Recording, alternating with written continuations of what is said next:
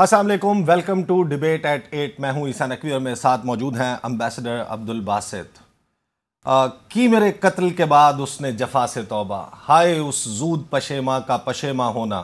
वज़ी अजम पाकिस्तान ने आज कफ़ायत शुरी मुहिम का आगाज़ कर दिया है। जो ऐलानात किए गए हैं, वो बहुत इंटरेस्टिंग हैं और उन ऐलानात के बारे में बहुत ही दिलचस्प हकाइक आपके सामने रखेंगे इस प्रोग्राम में। साथ ही जेल भरो तहरीक का पाकिस्तान तहरीक इंसाफ ने ऐलान कर दिया है, आगाज़ कर दिया है और इस जेल भरो तहरीक की कामयाबी क्यों कर मुमकिन होगी?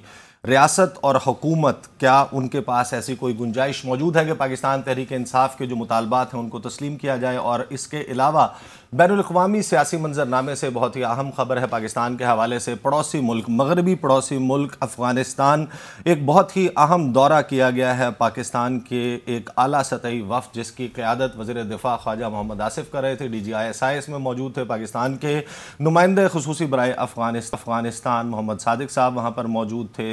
इसी तरह जो फ़ॉरन सेक्रेटरी हैं असद मजीद खान साहब, वो भी मौजूद थे तो इस दौरे से क्या निकलेगा? क्या पाकिस्तान में अमन लौटने की कोई गुंजाइश, कोई सूरत पैदा होगी या नहीं, इसके हवाले से बात करेंगे।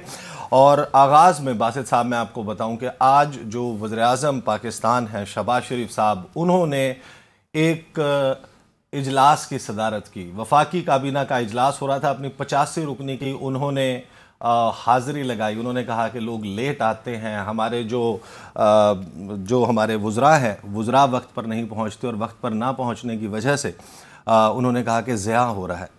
वो उन्हें लेक्चर देते हुए एक हेड मास्टर की तरह नज़र आया और उसके बाद एक प्रेस कॉन्फ्रेंस की गई। उस प्रेस कॉन्फ्रेंस में इत्तहादी जमातों की नुमाइंदगी वाज तौर पर नज़र आ रही थी। तो जो आज जो लोग वफाकी काबीना और जो मौजूदा हुकूमत है, उसकी रिस्पॉन्सिबिलिटी से कतराते हुए नज़र आते हैं कि महँगाई और ये मामला, उसका रिस्पॉन्सिबिलिटी लेने के लिए तैयार नहीं है। वो सब मौजूद थे, वो चेहरे तमाम के तमाम मौजूद थे, जो ऐलानात किए गए हैं। वज़ी अजम पाकिस्तान की तरफ़ से इस प्रेस कॉन्फ्रेंस में, उसमें से चीदा चीदा चीज़ें मैं आपको बता देता हूँ। आज हमें ये बताया गया है कि जो वफाकी वज़रा हैं, बिजली का बिल अपनी जेब से अदा करेंगे, जिसका मतलब यह है कि इससे पहले इनका बिल जो है वो अवाम की जेब से अता, अदा होता था।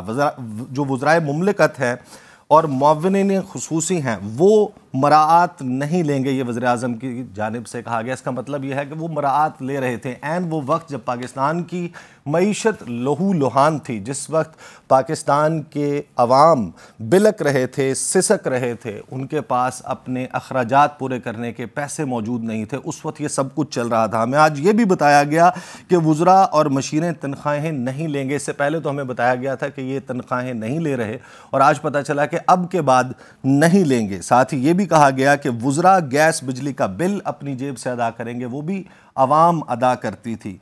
इसी तरीके से हमें यह भी बताया गया कि वज़रा जो है, वो लग्जरी गाड़ियाँ उनसे वापस लेने का फ़ैसला किया गया। इसका मतलब यह है कि जो पचासी रुकनी काबीना है, ये लग्जरी गाड़ियाँ इस्तेमाल कर रही थी। साथ ही हमें यह भी बता दिया गया कि वो अफसरान, सीनियर अफसरान जिनके पास गाड़ियाँ भी मौजूद हैं और वो अलाउंसेस भी लेते हैं, उनसे अलाउंसेस वो उनसे गाड़ियाँ वापस ले ले, ली जाएँगी जिनको अलाउंसेस दिए जाते हैं। इसका मतलब यह है कि ये दोनों चीज़ें इंजॉय कर रहे थे हमारे सीनियर अफसरान। इसी तरीके से आज वज़ी अजम पाकिस्तान ने कहा कि जो वज़रा हैं, जो वज़रा ममलिकत हैं, वो बैरून मुल्क जब दौरे पर जाएँगे तो इकॉनमी क्लास में सफ़र करेंगे। बासित साहब इकॉनमी क्लास में सफ़र करना है हमारे वज़रा ने। आपका, आपकी राय दरकार। ऐसे आप बात को बहुत खींचते हैं, सच कहता हूँ, और अननेसेसरीली खींच रहे हैं। उन्होंने कब कहा है कि हम पहले नहीं लेते थे? ये सारी जो फैसिलिटीज़ हैं नहीं तो मैं भी यही कह रहा हूँ। वो तो लेते आप, थे। आपको कहने की ज़रूरत इसीलिए वो तो, लेते थे तो गुजश्ता एक साल में जिस वक्त महँगाई का बम गिराया जा रहा था जब पेट्रोल की कीमत बढ़ाई जा रही थी जब आप उसको ड्रामेटाइज क्यों कर रहे हैं? एज इफ़ के ये कोई पहली दफ़ा पाकिस्तान में हुआ। हम सब जानते हैं कहते हैं कि काबीना और ब्यूरोक्रेसी के क्या क्या मराहत हैं। तो अगर आज उन्होंने एक अच्छा फैसला कर लिया तो आप थोड़ा बहुत अप्रिशिएट भी कर लेना हमारी आपने शुरू से की मेरे कत्ल के बाद उसने जफा से तो तो पिछले एक साल से जो सूरत हाल तो थी की उस दौरान करना था ना ये है कि एम एफ़ का प्रेशर भी तो आया है ना। अब ये आप तो ये बताए ना कि आपकी और मेरी मोहब्बत में नहीं वज़ीर आज़म साहब ने ये फैसला किया उन्हें ये फैसला करने पर आईएमएफ ने मजबूर किया कि अपने अल्ले तलल्ले कम करें। अल्ले तलल्ले सब कुछ है। बाबा जी को पहली दफ़ा थोड़ी हो रहा है। एटी से मुझे याद है जब मैंने सर्विस ज्वाइन की थी एटी टू में उस वक्त भी वो जुनेजो साहब आए थे उन्होंने कहा था कि हम सब सुजुकी इस्तेमाल करेंगे मेहरान।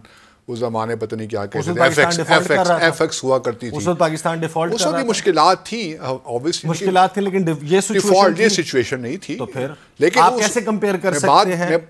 नहीं कंपेयर इसलिए मैं कर रहा हूँ कि पहली दफ़ा नहीं है उससे पहले जाउल हक साहब ने साइकिलों पे आना शुरू किया कर दिया था कि हमें सबको ये एक ऐसी ऑस्टेरिटी की ज़िंदगी गुजारनी चाहिए। क्योंकि तो पहली दफ़ा नहीं हुआ और मैं आपको यकीन दिलाता हूँ कि ये जो इन्होंने मेजर्स लिए हैं ये कोई परमानेंट भी नहीं है।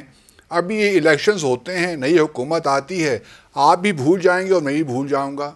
ये सारी चीज़ें वापस आ जाएँगी वही लग्जरी गाड़ियाँ होंगी वही सब चीज़ें होंगी। आपने इस तरह उसको पेश कर दिया समझ नहीं आई मुझे कि या तो आप बड़े मुतासर हो गए इस हुकूमत से या फिर आप उसको ड्रामेटाइज कर रहे हैं नेसेसरीली नहीं कौन सा मुतासर हो गया हूँ? बासित साहब आप... उन्होंने ऐलानात किए हैं हमें ये बताया कि हम ये सब नहीं करेंगे। इसका मतलब यह है कि गुजशत एक साल से जब वो हफ़्ते की बुनियाद पर, हर हफ़्ते हफ्तावार इजाफा काबीना में ऐलान करते थे, वो ये मरात लेते थे। तो इसका मतलब यह है कि यह हुकूमत, इसके पास क्या चेहरा मौजूद है आवाम को बताने के लिए, मीशत लहू लुहान थी। हर चीज़ की कीमत बढ़ रही थी तो उस दौरान ये सब वो तो चल रहा था जब इस जो आज जब इलेक्शन के करीब आप आ गए हैं तो आप ये एक जो आखिरी जो लास्ट खेप आई है स्पेशल असिस्टेंट्स की पाँच या सात स्पेशल असिस्टेंट्स की उनके बारे में उन्होंने कहा था सिर्फ़ कि प्रो बोनो काम करेंगे। वो भी सिर्फ़ तनख्वाह की हद तक बाकी तो सब चीज़ें उनके पास ही मौजूद थी। तो ये देखिए तो हमारे तो मैं पॉइंट आउट कर रहा हूँ मैं भी यही कह रहा हूँ लेकिन हमें मालूम है ना ये सब आपने उसको इस तरह डेमेटाइज कर दिया कि बहुत कोई अनोखी चीज़ पाकिस्तान में हो नहीं रही चीज़ के ऊपर बात नहीं करनी चाहिए नहीं करनी चाहिए मैं तो कहता हूँ करनी चाहिए बात लेकिन आप फिर दो महीने के बाद ये सब चीज़ें बहाल हो जाएँगी आईएमएफ का प्रेशर खत्म हो जाएगा आप भी भूल जाएँगे और मैं भी भूल जाऊँगा। मसला हमारे हमारी कौन का यही है। आपके अगर अगर आपके अगर आपके पास आपके नेशनल एक्सचेकर में इनफ मनी मौजूद है आपकी किटी में पैसा मौजूद है आपके पास foreign reserve hundred of billion of dollar हैं तो फिर आप ये कर सकते हैं फिर भी नहीं करना चाहिए आपको। मैं आपको मिसाल दे सकता हूँ दुनिया भर की।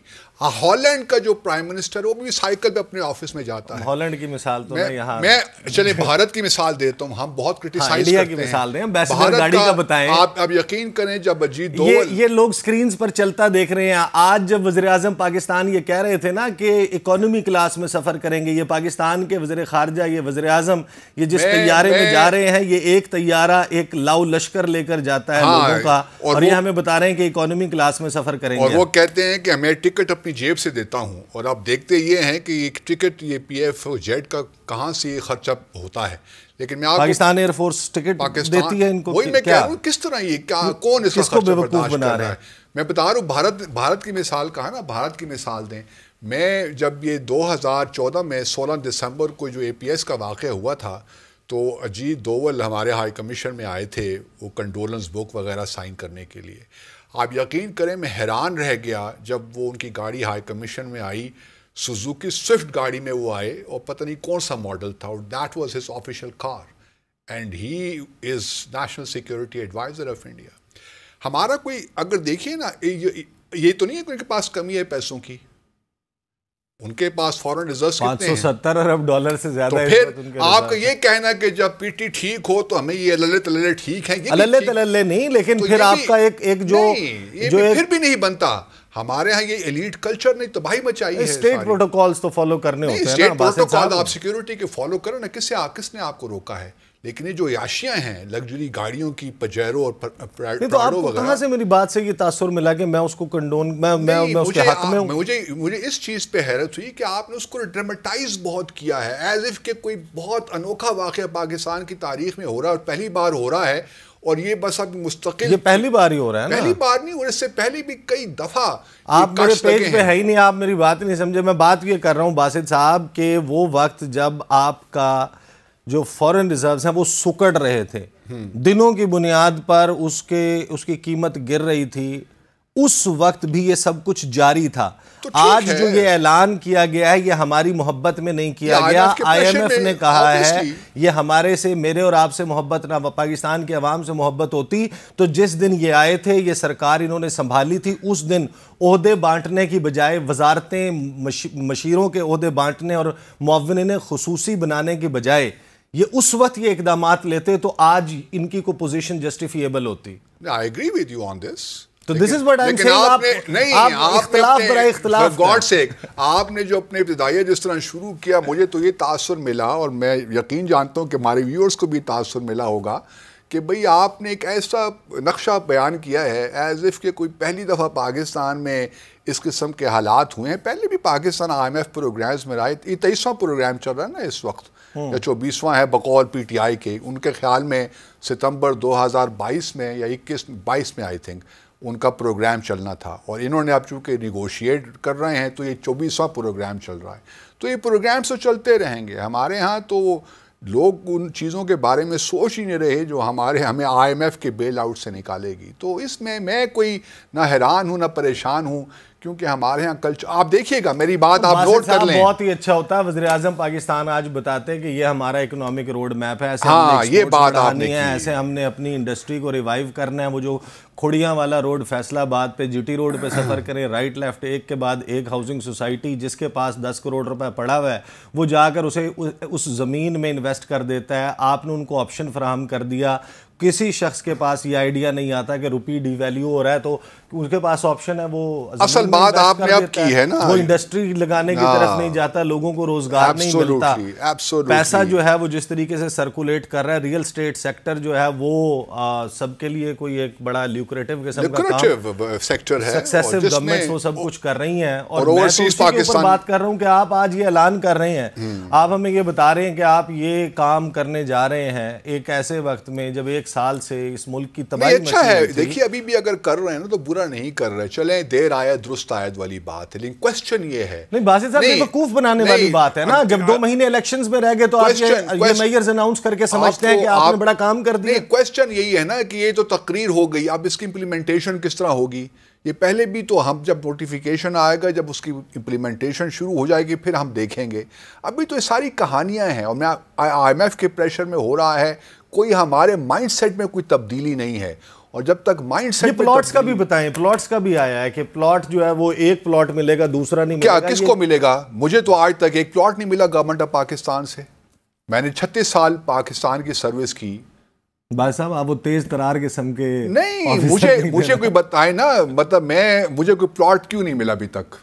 और मुझसे हुकूमत ने पैसे भी ले रखे हैं पिछले दस बारह सालों से। और अभी तक मुझे तो कोई प्लॉट नहीं तो मिला। हुकूमत पाकिस्तान आपकी मकरूज है सभी की मेरी मकरूज है। है ना तो ये प्लॉट का भी जो है ना एक ये इसके बारे में नहीं मिलना चाहिए ये एक के बाद वो कहते हैं एक, एक प्लॉट जो है वो आधा ही आधा ही आधा ही प्लॉट दे दो हमें कुछ दो तो सही ना वो भी नहीं दे रहे। क्वेश्चन साहब ये तो आपको कहना ये चाहिए था कि ये बांटना ही नहीं चाहिए ये प्लॉट बांटने वाला सिलसिला होना चाहिए। देखिए पॉलिसी अगर बना लें सबके लिए क्रॉस द बोर्ड बहुत अच्छी बात है। और उस हिसाब से फिर गवर्नमेंट सर्विस को जो सर्वेंट्स हैं उनको लुक आफ्टर भी करें। यहाँ तो कोई वाली वारिस ही किसी चीज़ का नहीं है ना। यहाँ पे ढॉकिज़म है। It's all a ढॉकिज़म you believe me और मैं इसी से मुझे खौफ आता है इस मुल्क को भाई साहब सेगमेंट क्लोज करना है मुझे ब्रेक पे जाना है। अगर आपका चेहरा बदनुमा हो बदसूरत हो तो फिर आप कॉस्मेट इस्तेमाल करते हैं। उस कॉस्मेटिक से सुर्खी पाउडर से आप अपने चेहरे को अच्छा दिखाने की कोशिश करते हैं। हुकूमत ने वो वक्त जब उन्होंने जाना है, इकतदार से रुखसत होना है इलेक्शंस होने हैं इस मुल्क में, उस वक्त इन मेयर्स का ऐलान करके और उससे पहले पचासी रुकना, रुकनी काबीना रख के किस किस्म का मैसेज दिया है, इसके जज जो हैं, वो आवाम है ब्रेक के बाद वापस आएँगे और जेल भरो तहरीक के हवाले से, उसके मुस्तबिल के हवाले से पाकिस्तान तहरीक इंसाफ का वर्शन भी लेंगे।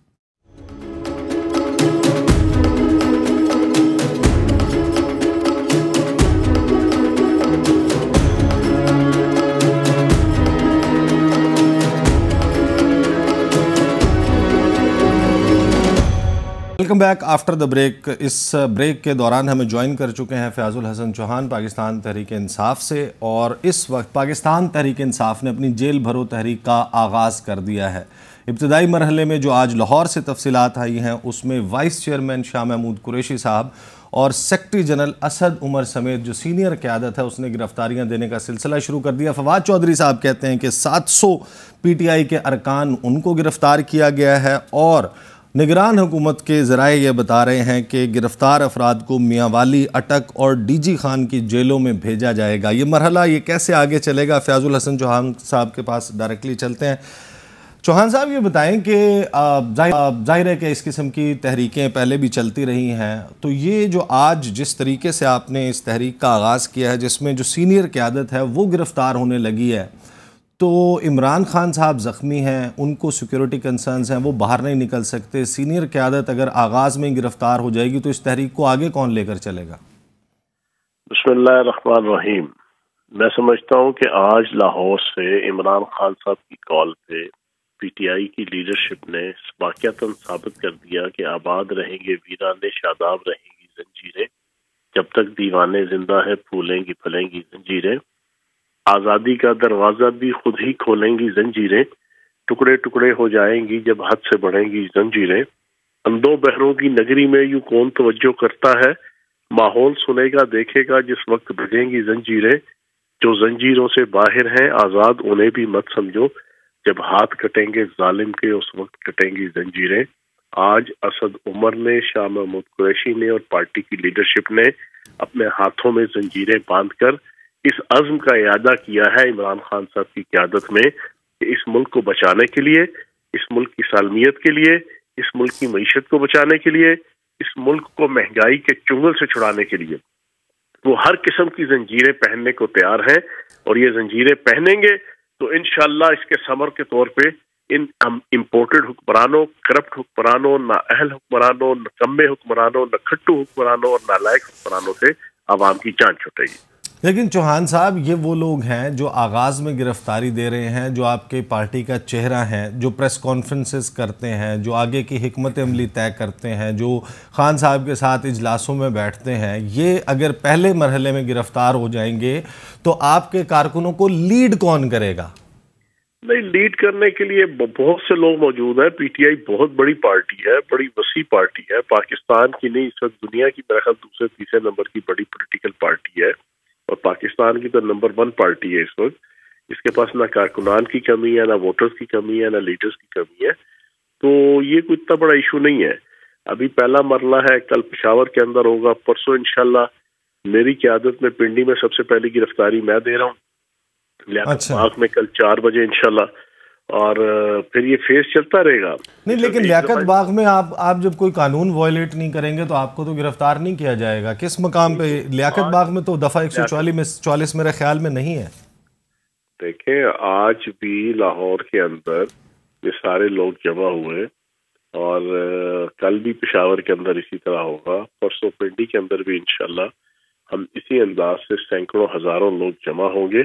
और उसमें हमने तय किया हुआ है कि सौ कारकुनान और बाकी लीडरशिप भी इनशाला और मैं सबसे पहला बंदा होगा इनशाला मैं गिरफ्तारी दूँगा और सारे बाकी दोस्त भी गिरफ्तारी देंगे और इमरान खान साहब की हुक्म के ऊपर और उनकी लीडरशिप में जनाब इंशाल्लाह हम अपना चौहान साहब, ये बताइए कि अगर जेल भरो तहरीक ही है ये, क्योंकि कुछ लोगों का ख्याल है मुबसरीन का कि आप इलेक्शन कैंपेन में चले गए हैं एक्चुअली।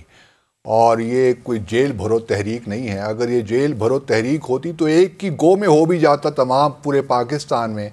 तो आपने इसको शहरों में डिवाइड करके एक प्रोलॉन्ग किस्म की कैंपेन चला दी है। क्या ये आपकी इलेक्शन कैंपेन का हिस्सा कई कुछ और चीज़ है जो आप बता रहे हैं? एक बात तो हम अपने इलेक्शन का नाम ना ले, इलेक्शन तो छेड़ बन गई है इस इम्पोर्टेड हुकूमत की। इलेक्शन छेड़ है शहबाज शरीफ की। इलेक्शन छेड़ है बिला वजह भुट इलेक्शन छेड़ है मौलवी फजल रहमान की। इन सारों की छेड़ है। इनको रात को नींद उड़ जाती है जब इनको कोई कहे ना कि इलेक्शन होने वाले हैं पाकिस्तान में। इनकी नींद उड़ जाती है जब इनको कोई कहे ना कि लोगों से जनाब राय लेने लगे हैं कि हुक्मरान कौन होना चाहिए। क्योंकि इन्हें पता है कि पाकिस्तान के अंदर 85 परसेंट लोग इस वक्त इनसे मुतनफर हैं। मुतनफर। मुखालिफ नहीं है। एक लफज होता है मुखालिफ। एक होता है मुतनफर होना। इनसे नफरत करते हैं। इन्होंने 11 महीनों में पाकिस्तान की मीशत, माशरत सकाफत तमदन रियासत, सालमियत, हर चीज़ को दाव पे लगा दिया है। अभी आज बैठ के प्रेस कॉन्फ्रेंस कर रहे थे क्राइम मिनिस्टर शहबाज शरीफ साहब, बाकी अपने सारे हवारियों के साथ, कि हम जनाब किफायत का जनाब प्रोग्राम दे रहे थे।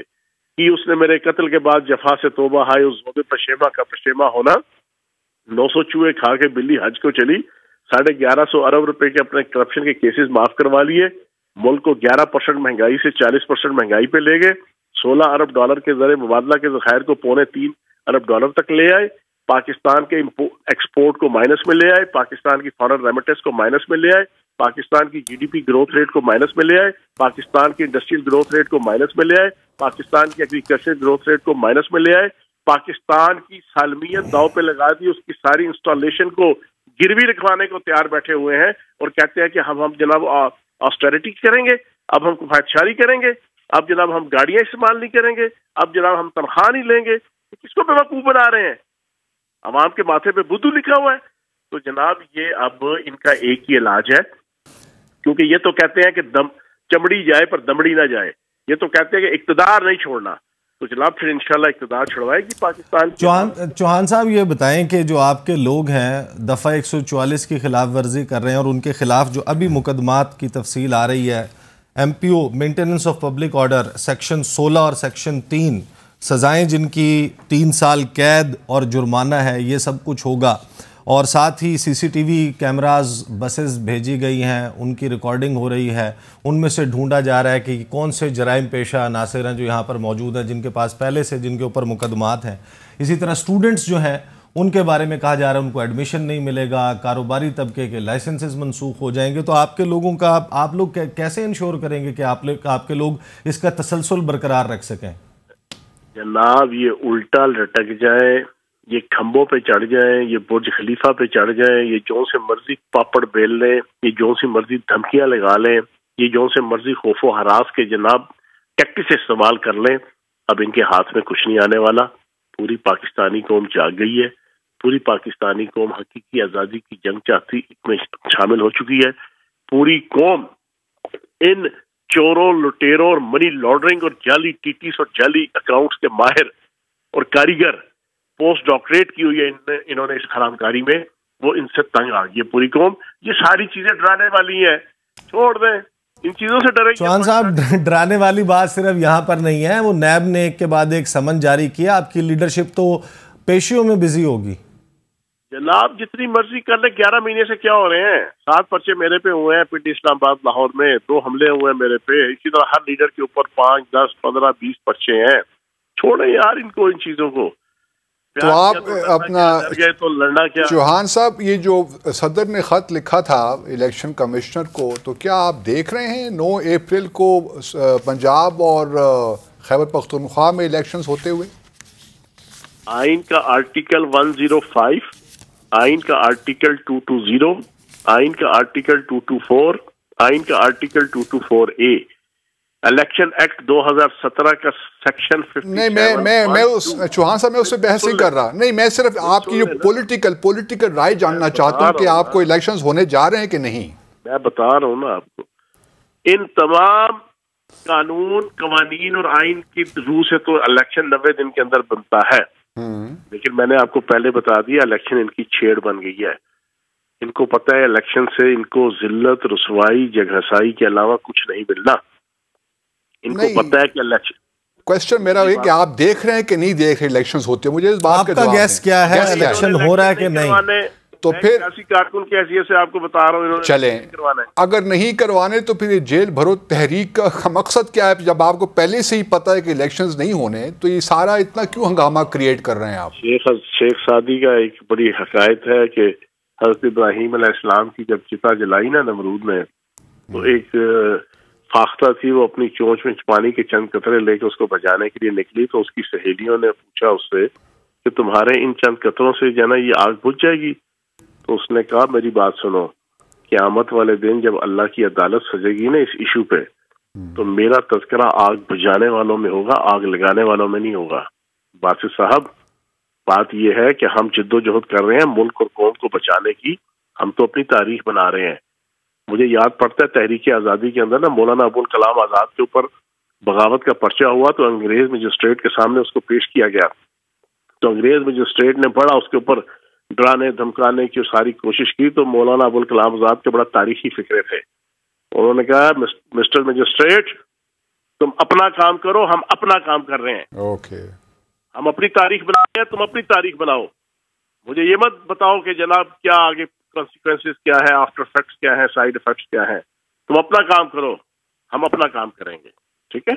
लेकिन आप कोई किसी मरहले पे महसूस नहीं होता कि इन तहरीकों से, इस एक लिहाज से तवायफुल मलूकी फैल रही है, हमारी जो इकॉनमी है, वो मज़ीद प्रॉब्लम्स का शिकार हो रही है। पॉलिटिकल स्टेबिलिटी तो बहुत ज़रूरी है ना इकनॉमिक प्रोग्रेस और डेवलपमेंट के लिए। तो बहसीत पार्टी कहीं ये हाँ। आप लोग डिस्कस नहीं करते ठीक है मैं मान लिया जो आप बातें कर रहे हैं पीडीएम के हवाले से I concede all those points which you have made लेकिन मेरा सवाल ये है कि बहसीत पाकिस्तानी और इस रियासत को एक लिहाज से इस वक्त जो मसाइल दरपेश हैं क्या ये तहरीक इस किस्म की तहरीक हम अफोर्ड कर सकते हैं इस वक्त? तसली से इसका जवाब सुन लीजिएगा। अगर तो अप्रैल 2022 पे हमने सिक्स परसेंट जनाब जीडीपी ग्रोथ रेट छोड़ी और इन्होंने इसको सेवन परसेंट तक ले आते ग्यारह महीनों में तो हमारी ये तहरीक जो है नाजायज थी। अगर हमने जो टेन पॉइंट सिक्स परसेंट जनाब लॉन्ग जिसे कहते हैं इंडस्ट्रियल ग्रोथ रेट जो छोड़ी थी, अगर वो ये अलेवन पॉइंट टेन परसेंट पे ले आते तो हमारी तहरीक इस वक्त नाजायज थी।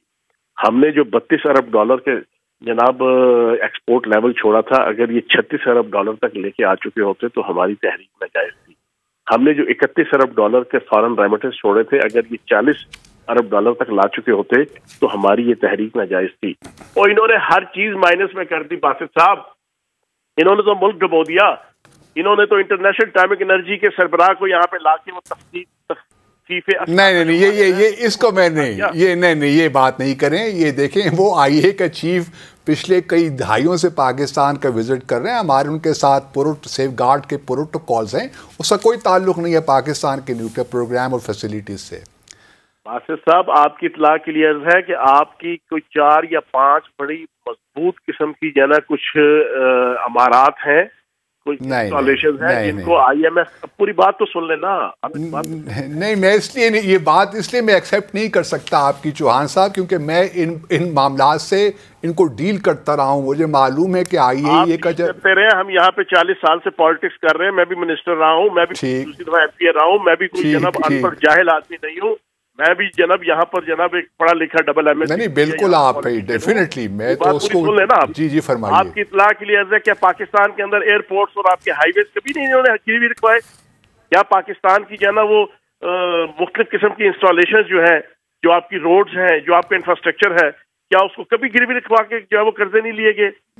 क्या उसको गिरवी रखवा के कभी स्कूक बॉन्ड नहीं लिए गए? सही चौहान साहब लेकिन चौहान साहब एयरपोर्ट रोड्स और ये सब कुछ तो समझ आता है लेकिन आपको वाकई आप बड़ा दावा कर रही हैं कि हुकूमत जो है वो न्यूक्लियर जो आप इंस्टॉलेशन मुझे ये बताए मुझे ये बताए ग्यारह महीने बिला वजह भुट्टो और ये सारे लोग जो है ना ये बाहर जनाब दौरों पे रहे हैं। इस वक्त वो बाहर के दौरों में है। हासिल वसूल पाकिस्तान को क्या हुआ है? आपका क्या ख्याल है? पाकिस्तान पौने तीन अरब डॉलर के ज़रिए मुबादला के जखायर आ गए ये बासित साहब को कहें ये भी कह दें कि ये गलत है। नहीं मैं जो बात डॉलर के नहीं नहीं वो बात बिल्कुल दुरुस्त बिल्कुल दुरुस्त कह रहे हैं आप बिल्कुल दुरुस्त फरमा रहे हैं लेकिन मैं तीन अरब डॉलर के ऊपर कौन सी आपकी गैरत और खुददारी जो है ना इंटरनेशनल लेवल पे एक्नॉलेज की जाएगी? मैंने छोटा सा इकोनॉमिक्स में मास्टर किया हुआ है। हम मुझे कुछ ज़्यादा बहुत ज़्यादा माहिर मैं अपने आप को कंसिडर नहीं करता लेकिन हमने जो F S C B S C और एम ए के अंदर इकोनॉमिक्स पढ़ी है हमें इतना पता है कि पौने तीन अरब डॉलर के ऊपर जो है ना कोई आपको इंटरनेशनल लेवल पे भिकारी भी तस्वर नहीं करेगा कोई मुल्क नहीं आया आया सही सही सही। चौहान साहब चौहान साहब चौहान साहब। करेगा? चौहान साहब ज़ाहिर है कि हम हम जेल भरो तहरीक और उसके मुस्तकबिल के हवाले से बात कर रहे थे। मौजू थोड़ा सा हम डी ट्रैक हो गए। फाइनली फाइनली मुझे ये बता दें है उस मुल्क को बचाने के लिए हम कहते हैं हुक्मरानों से जान छुड़ाओ। हुक्मरानों को कहते हैं कि आइन के मुताबिक चलो आइन कहता है नब्बे दिन में इलेक्शन कराओ। केपी के और पंजाब के नब्बे दिन के अंदर इलेक्शन होना चाहिए, नहीं होता आर्टिकल सिक्स की वायलेशन है। आर्टिकल सिक्स पे इनके फांसी के फंदे पे चढ़ना चाहिए। ये नई आर्टिकल जनाब आइन के ऊपर अमल पैरा, ये महँगाई चालीस परसेंट ले आया है। हम उसके खिलाफ अपना एक हक के नुमाइंदगी अदा करते हुए बाईस करोड़ पाकिस्तानियों की हम जेल भरो तहरीक शुरू कर रहे हैं। ये सारी चीज़ें रेलिवेंट है, सारी चीज़ें इंटरकनेक्ट हैं। कोई चीज़ भी एक दूसरे से जना इंडिफरेंट नहीं है। सही सही। बहुत बहुत शुक्रिया चौहान साहब आपका आपका मौकफ आपकी पार्टी का मौकफ सामने आ गया। ज़ाहिर है कि ये मामला इसमें ये स्ट्रेटजी इसको पाकिस्तान तरीके इंसाफ कैसे चलती है। अब से थोड़ी देर पहले इमरान खान साहब ने खिताब किया है इस कफ़ायत शुरी मुहिम के ऐलान के बाद और उन्होंने कहा कि ये सब एक ढकोसला है ड्रामा है। और नबे दिन की डेडलाइन जिसमें इलेक्शन होना है, अगर वो क्रॉस करती है तो आवाम बाहर निकलें एक ऐसे वक्त में जब पाकिस्तान तहरीक इंसाफ की लीडरशिप पाबंद सलासिल होगी, ख़ुद रजाकाराना तौर पर गिरफ्तारियाँ दे चुकी होगी, उनके लोग गिरफ़्तार होंगे। इमरान खान साहब जो है, वो ख़ुद उनकी मूवमेंट महदूद होगी तो फिर ये मुहिम कैसे चलाएगी पाकिस्तान तहरीक इंसाफ? अगले चंद दिनों में इसका जवाब आना शुरू हो जाएँगे। ब्रेक लेते हैं और ब्रेक के बाद करेंगे अफ़गानिस्तान का जो दौरा। पाकिस्तान के अला सतही वफ्त ने किया और हमारे पड़ोसी मुल्क से कुछ मेहमान आए थे। उन्होंने कोई आग लगाई है, उस आग पर भी बात करेंगे।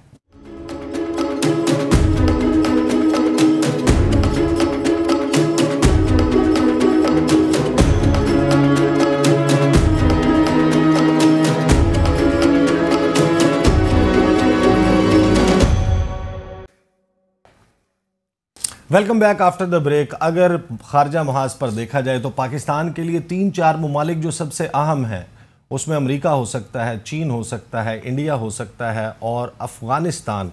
उन सर फहरिस्त ममालिक में शामिल है इमीडिएट नेबर भी है और अफ़गानिस्तान के साथ गुज्त एक साल से इंगेजमेंट का, हकूमती सतह पर इंगेजमेंट महदूद थी।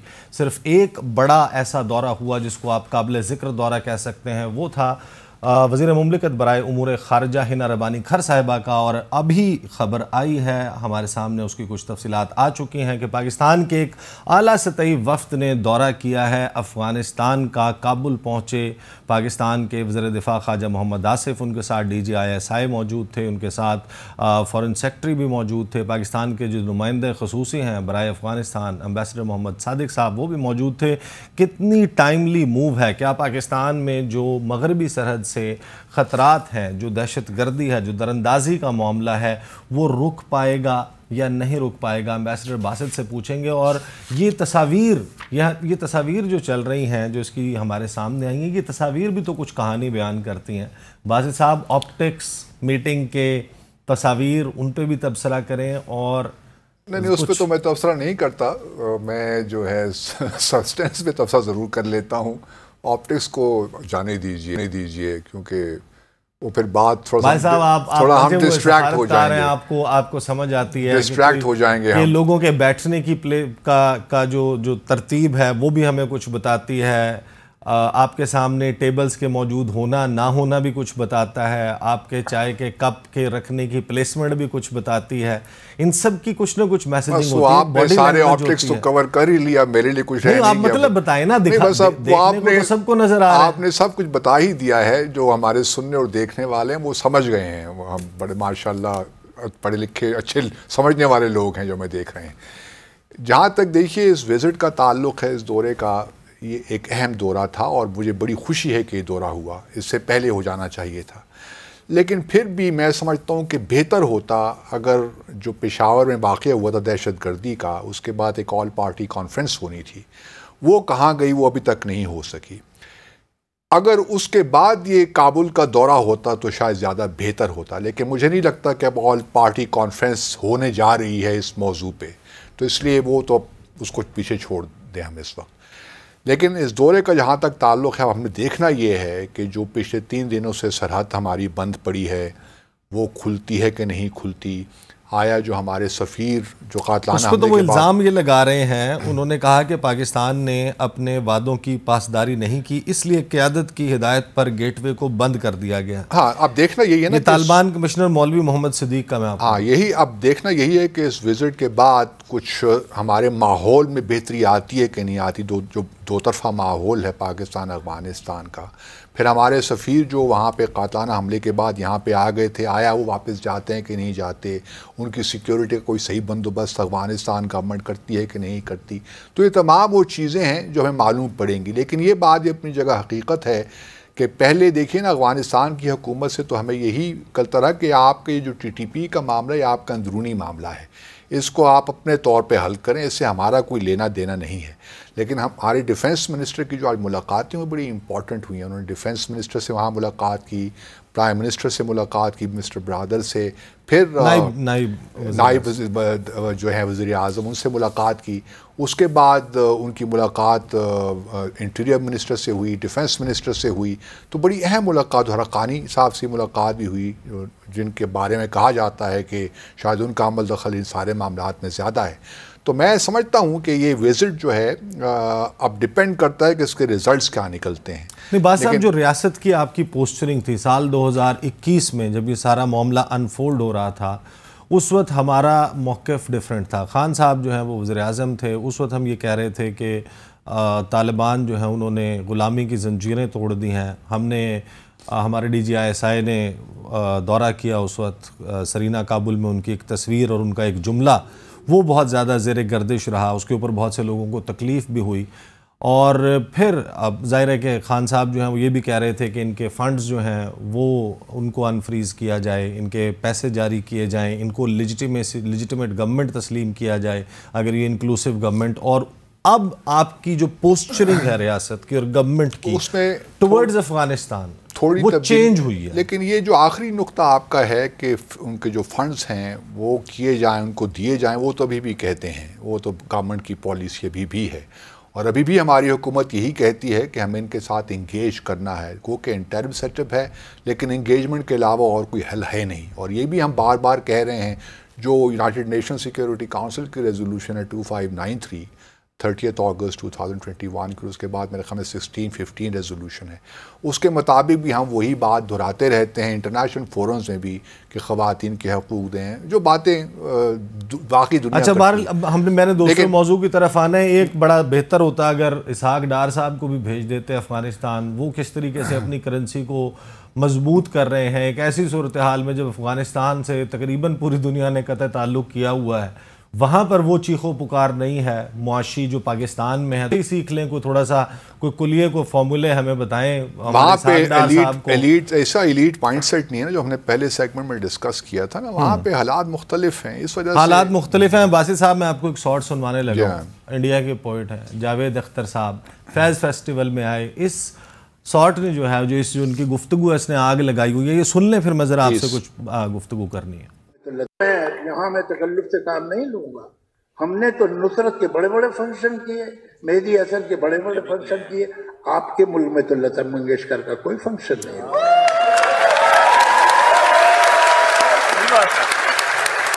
तो हकीकत ये है, चलिए, अब हम एक दूसरे को इल्ज़ाम न दें, उससे सॉल्व नहीं हो ये अहम बात यह है कि ये जो आजकल इतना गर्म है फिजा वो कम होनी चाहिए।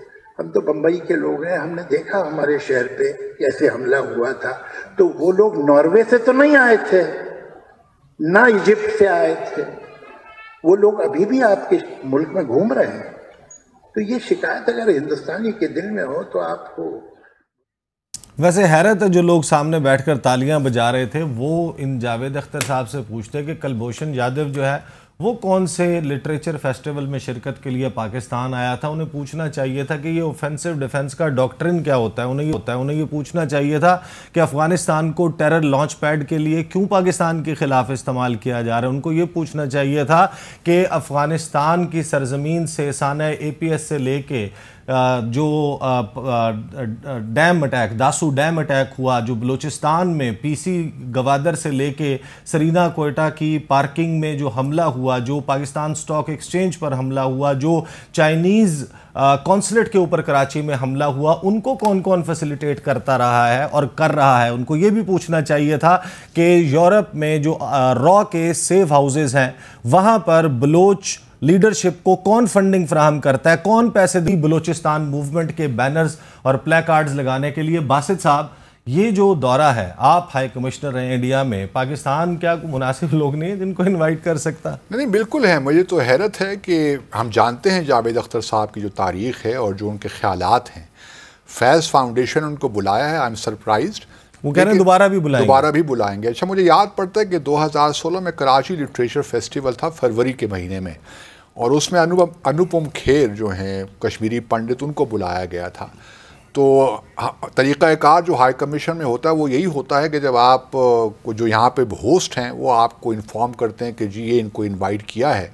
तो फिर हाई कमीशन बैक होम लिखता है कि जी आता है कि जी, आप हमें नो एन ओ सी दे दें। तो अनुभव हमने भी वही किया, सत्रह लोग जो थे, हमने उनका भिजवा दिया।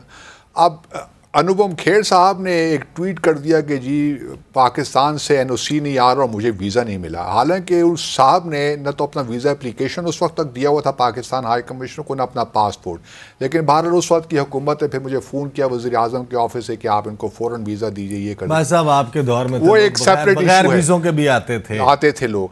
क्वेश्चन मेरा ये है नवाज़ शरीफ साहब के दौर हाँ, में ना? हाँ क्वेश्चन इस वक्त जिंदल आए थे हाँ, मोदी अपने पूरे उसके साथ आए थे लाउ लश्कर के साथ उन्होंने फिजा बस वही वही एक दफ़ा आए थे वो फिर वीज़ा उनको ऑन अराइवल मिला था लेकिन उससे पहले वीज़ा लेते रहे क्वेश्चन तो क्वेश्चन के लिए फ़ोन कहाँ से कौन करता था? करते वो फिर इंशाल्लाह फिर कई बात करेंगे जो जावेद अख्तर साहब का सुना कुछ वीजों के लिए साहबजादे जो हैं कुछ वो वो भी आल औलाद की तरफ़ से फ़ोन आते थे हाई कमिश्नर में हट रहे हैं ना। दिल्ली में नहीं सब्जेक्ट रहा। अख्तर को हम डिस्कस कर जावेद अख्तर को नहीं बासित साहब ये ये वही हुकूमत है ना। जावेद अख्तर को ये बात करनी चाहिए थी कि शबाना अजमी और उनको किसी हिंदू कम्युनिटी में कोई अपार्टमेंट भी अपने घर किराए पे देना नहीं चाहता।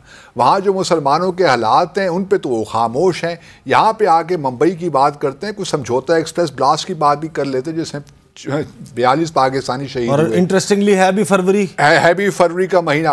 तो क्वेश्चन ये है कि क्या मतलब आप और मुझे लाहौर, जो लोग ऑडियंस में थे, मुझे उन पर भी हैरत होती है, उन्होंने प्लॉट किया उसकी इस बात को। हमारे मतलब क्या हमारी पाकिस्तानियत, हमारी रियासत के जो मफादात हैं, कोई भी उनको नहीं समझता। मुंबई अटैक की बातें करते हैं, इंशाल्लाह इस पर कभी सैर हासिल गुफ्तु करेंगे।